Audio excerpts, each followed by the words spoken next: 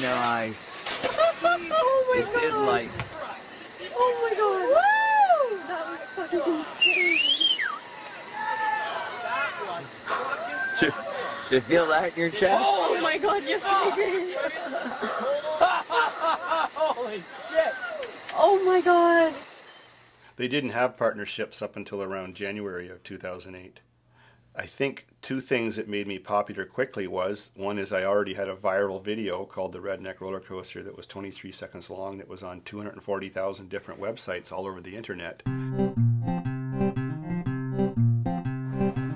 So I went on YouTube with no expectation to ever make an income, just to express my hobby and what I'm doing because I had 16 or 17 years worth of videos I've been making at the farm. And I so I went on and within a couple weeks I had 150 videos put on YouTube because I had so many old videos.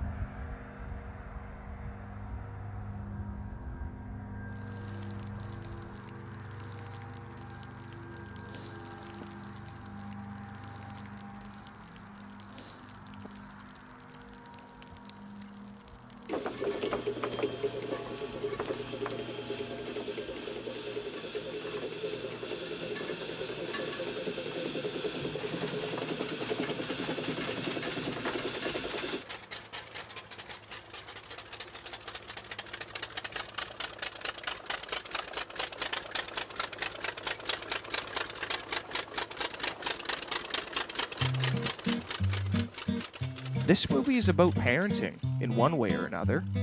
It's about David Rock of London, Ontario, Canada, and the struggles he's gone through and the fight he's going through to be with his kids. Well, I, my goal was to actually become famous enough that my children would find me. I had no monetary goal going on YouTube because I never imagined getting paid. There was no such thing. So my goal was to become so famous on YouTube that there's no way my ex-girlfriends could hide my children from me. They would have to find me, and that and it worked. The website YouTube is full of videos of outrageous stunts. Now, an Ontario man is tapping into the trend with remarkable results. Dave Rock's claim to fame is smashing, wrecking, and blowing things up, and it's made his YouTube website the most watched in Canada. Rock says he does it for fun, but as CTV's John Valley Rao reports, he's laughing all the way to the bank. While many farmers are still growing corn this time of year, David Rock is using his fields to grow his fan base. I call it a redneck resort. It's insane. Here you'll find a collection of homemade stunt cars, It's probably the most famous farm in Canada. a farm David put up on YouTube, along with videos of toilets he's blown up, cars he and his buddies have crushed. How old are you? I'm 47, but that's on the outside. I, I think I feel like about 17. And it's yielding David a bounty of cash. A lot of people don't comprehend that You can make money off YouTube. Check out this check for the month of July.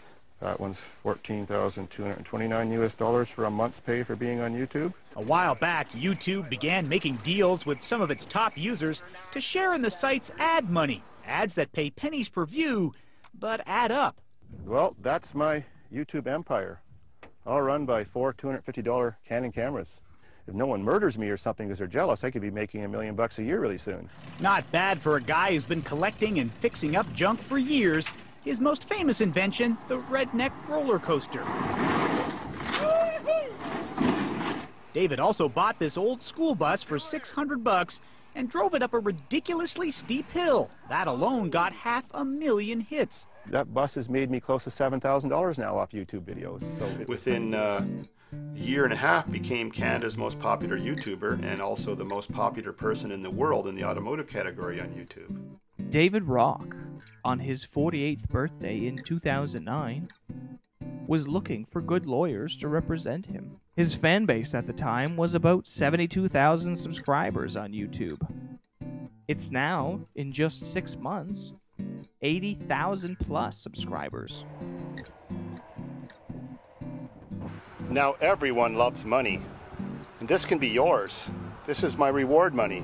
I am paying lawyers in London and in Calgary a lot of money to solve the case and find my missing son that Evelyn Van Beest stole. This wasn't the first time, thankfully, that Dave had a woman, an ex girlfriend in particular, take a child away from him.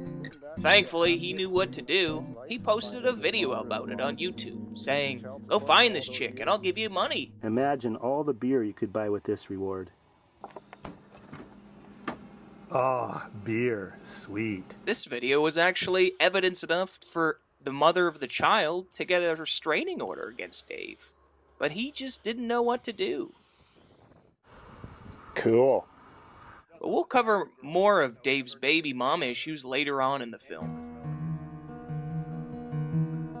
My father was physically abusive, and that would flow over towards us too, and the kids would get hit sometimes. Can remember my mother getting beat up from the age of three. That's as far as my memory goes back. I can remember even getting toilet trained, and I can remember. Uh, I can remember not even be able to reach the, the light switches to turn on lights to go into the bathroom. There was times when we went for walks.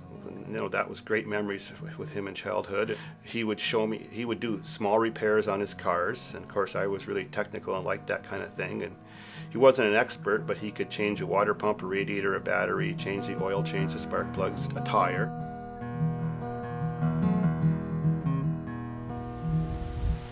Well, I was pretty proud when he graduated from high school without uh, even studying ever.